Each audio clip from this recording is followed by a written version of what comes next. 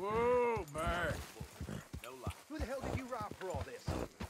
Hey, you ask no questions, So, I uh, tell no lies. Now, it's all yours once you hand me the money. Wagon two. Fine.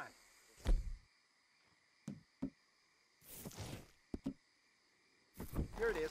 What we agreed on. Good man. Well, you keep on doing what you do.